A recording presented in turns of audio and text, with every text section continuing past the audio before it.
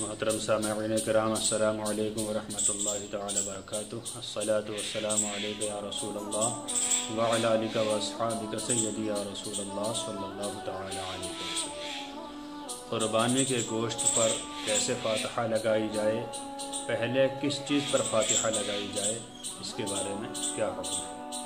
देखिए हजरात, क़ुरबानी करने के बाद उसके अंदर जो कलेजी निकलती है सबसे पहले उसको भुना जाए या पकाया जाए और उस पर फातहा लगाया जाए ये बेहतर है।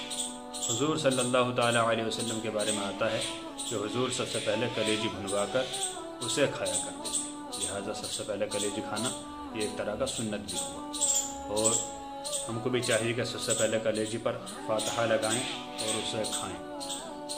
तनावुल फरमाएँ। उसके बाद और गोश्त खाएँ। और अगर पहले ही गोश्त खा लिया, तब भी कोई बुराई नहीं। और कलेजी बाद में खाई, तब भी किसी तरह की कोई बुराई नहीं। लेकिन खाने से पहले इस बात का ख़ास ख्याल रखें कि खाने पर, गोश्त पर, या जो भी कुछ हो, उस पर फातहा दें।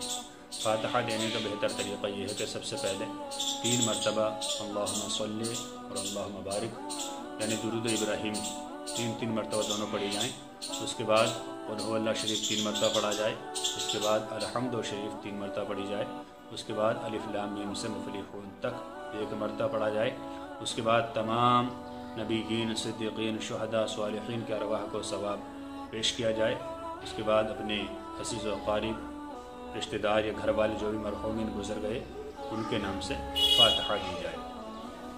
और फातहा करने के बाद, उसके बाद खाने को तनावल किया जाए।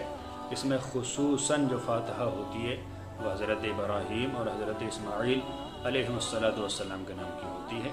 इस बात का ख़ास ख्याल रखें।